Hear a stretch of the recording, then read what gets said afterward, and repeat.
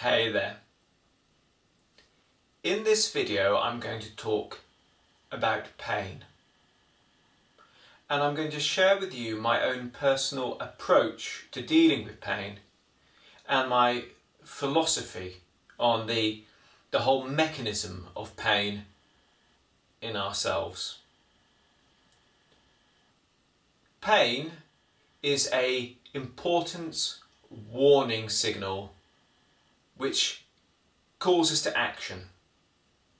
It's something telling us that we need to do something to solve the situation.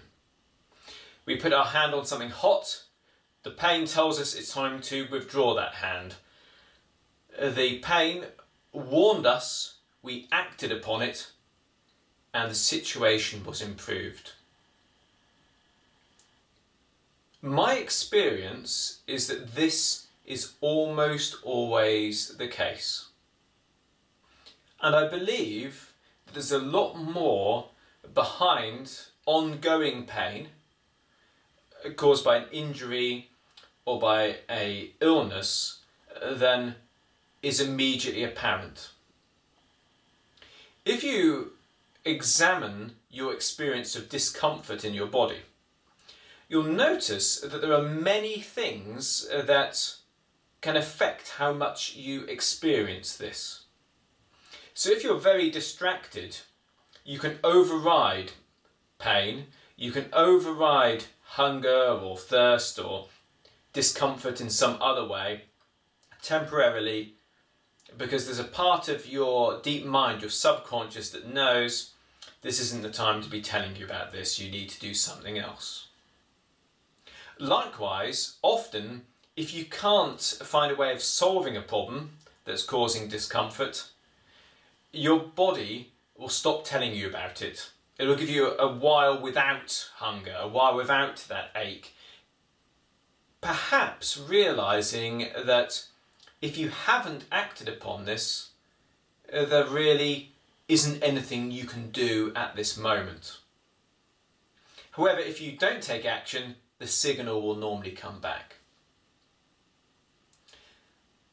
I've found that if I injure myself, let's imagine I have an, an injured elbow, for example. If I injure myself, that pain will appear as a reminder. And this can partly be a reminder to be careful with that injury.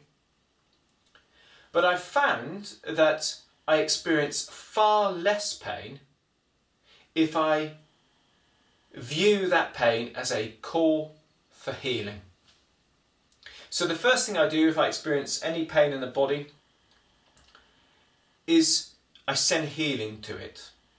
I imagine that with each breath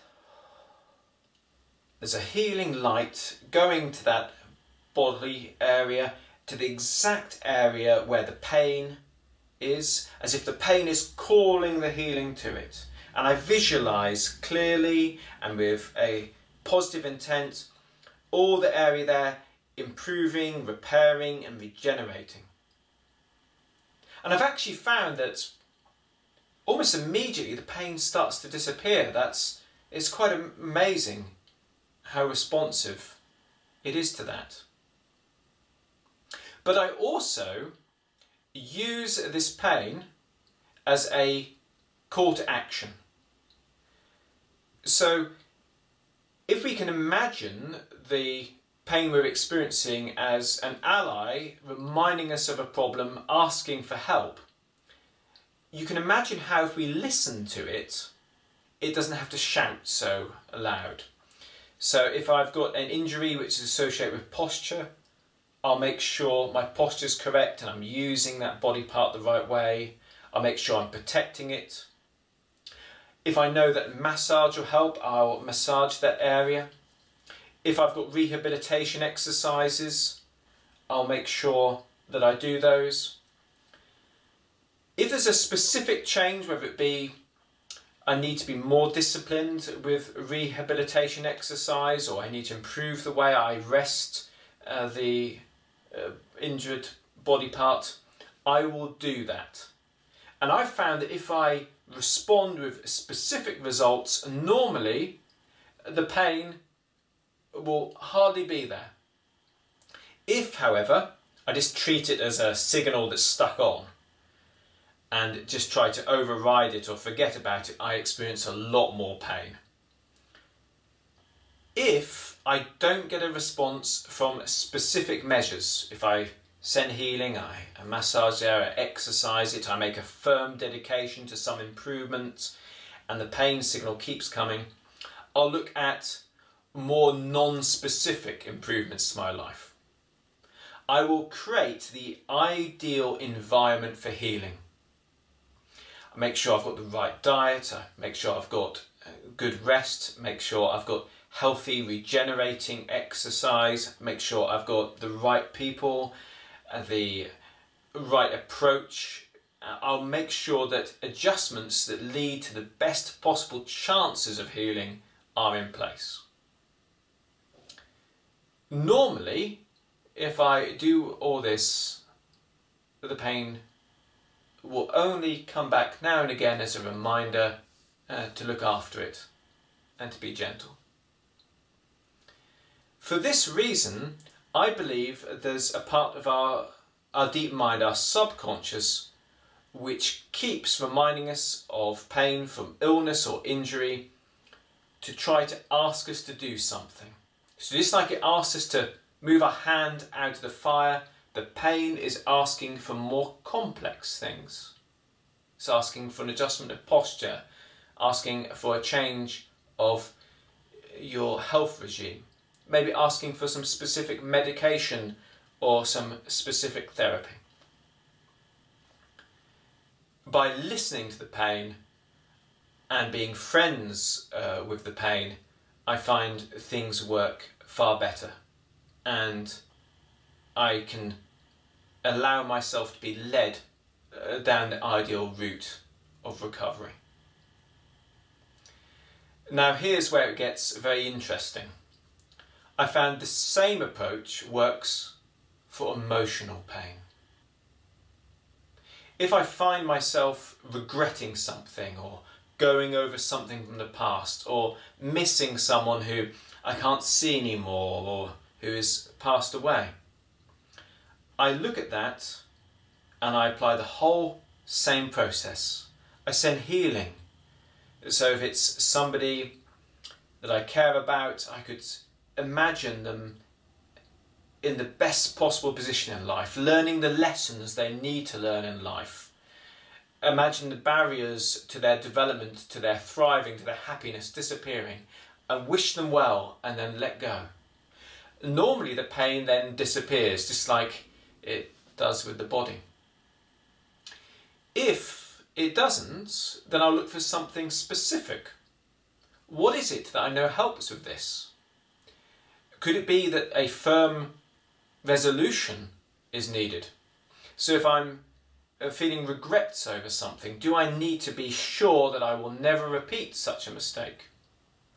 if there's something which is haunting me from the past, some hard experience, is there a lesson in there? Is there uh, something that needs to happen uh, to help heal this? If specific changes don't help, I'll look for non-specific changes. Maybe I need more time to let my mind just uh, be free. Maybe I need to involve myself in more artistic endeavours or creative pursuits. Maybe I need to extend my meditation. Maybe I need to be more out in nature. And uh, with this route, I found that emotional pain, just like physical pain, leads me to healing. So by listening to the pain, responding with positive action, I have found that this is the best route to healing for me. Now, I share this with you with pure good intentions. This is an approach that I've only ever used myself and have never explained to anyone else before. and I'm aware that people have greater challenges than I, both in terms of physical pain and emotional hardship. I would be very grateful for anyone using this approach if they would share in the comments section below if it helped them and if there are any further improvements they can suggest. And with this method, I believe we can all learn to find healing through pain and develop our understanding of this mechanism together. My name is Martin Faulks and I hope that this video has been of help to anyone who's looking for a positive approach to dealing with pain in their life.